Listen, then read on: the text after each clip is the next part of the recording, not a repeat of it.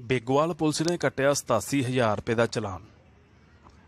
Begwal police ਨੇ corona ਮਹਾਮਾਰੀ ਦੌਰਾਨ ਸਰਕਾਰ ਵੱਲੋਂ ਜਾਰੀ ਹਦਾਇਤਾਂ ਦੀ ਪਾਲਣਾ ਨਾ ਕਰਨ ਵਾਲਿਆਂ ਦੀ, ਜਿਵੇਂ ਕਿ ਮਾਸਕ ਨਾ ਪਹਿਨਣਾ, ਜਨਤਕ ਥਾਵਾਂ ਤੇ ਥੁੱਕਣਾ ਆਦ ਵਾਲੇ ਲੋਕਾਂ ਦੇ ਅੱਜ ਤੱਕ 174 ਵਿਅਕਤੀਆਂ ਦੇ ਚਲਾਨ ਕਰਕੇ ਬੰਦੀ ਰਕਮ 87000 ਰੁਪਇਆ ਸਿਹਤ ਵਿਭਾਗ ਨੂੰ ਸੌਂਪੀ ਹੈ। ਇਸ ਸੰਬੰਧੀ ਹੋਰ ਜਾਣਕਾਰੀ ਦਿੰਦਿਆਂ ਥਾਣਾ ਮੁਖੀ ਪ੍ਰੀਤ ਇੰਦਰਪਾਲ ਸਿੰਘ ਨੇ ਦੱਸਿਆ ਕਿ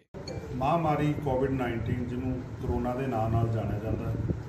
ਇਹਨੇ ਪਸਾਰ ਆਪਣਾ ਸਾਰੇ ਸੰਸਾਰ ਵਿੱਚ ਕਰ ਲਿਆ ਤੇ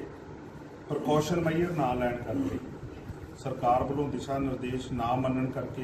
ਇਹ ਦਿਨ ਪ੍ਰਤੀ ਦਿਨ ਵੱਧਦੀ ਜਾ ਰਹੀ ਹੈ। ਸਰਕਾਰ ਦੀਆਂ ਹਦਾਇਤਾਂ ਮੁਤਾਬਕ ਥਾਣਾ ਵੇਗੋਵਾਲ ਦੀ ਪੁਲਿਸ ਨੇ ਹੁਣ ਤੱਕ 174 ਚਲਾਨ ਜਿਹੜੇ ਕੋਈ ਬਿਨਾ ਮਾਸਕ ਪਾਇਆ ਜਾਂ ਜਿਨ੍ਹਾਂ ਨੇ ਉਲੰਘਣਾ ਕੀਤੀ ਆ ਕੋਵਿਡ-19 ਦੀਆਂ ਹਦਾਇਤਾਂ ਦੀ, ਉਹ ਕੱਟੇ ਨੇ। ਤੇ 87000 ਰੁਪਇਆ ਜਿਹੜਾ ਜਮ੍ਹਾਂ ਕਰਕੇ ਉਹ ਅਸੀਂ ਸਿਹਤ ਵਿਭਾਗ ਨੂੰ ਦੇ ਚੁੱਕੇ ਹਾਂ। ਮੈਂ ਆਪਣੇ ਥਾਣੇ ਦੇ ਵਾਸੀਆਂ ਵੱਲੋਂ, ਆਪਣੇ ਥਾਣੇ ਵੱਲੋਂ, ਆਪਣੇ ਥਾਣੇ ਦੇ ਸਾਰੇ ਵਾਸੀਆਂ ਨੂੰ, ਪੰਜਾਬ ਵਾਸੀਆਂ ਨੂੰ ਤੇ ਸਮੂਹ ਸੰਸਾਰ ਦੇ ਵਾਸੀਆਂ ਨੂੰ ਜਿਹੜੇ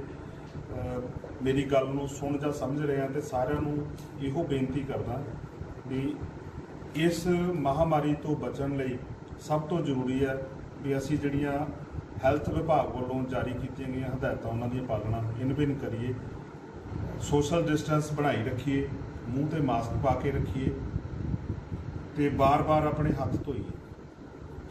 ਤੇ ਇਸ ਅਜਿਹਾ ਕਰਨ ਨਾਲ ਜਿਹੜਾ ਇਸ ਮਹਾਮਾਰੀ ਤੋਂ ਬਚਿਆ ਜਾ ਸਕਦਾ, ਇਹ ਇਸ ਕਰਨ ਦੇ ਵਿੱਚ ਅਸੀਂ ਵੀ ਜਿਹੜਾ ਇੱਕ ਆਪਣਾ ਅਹਿਮ ਰੋਲ ਅਦਾ ਕਰੀਏ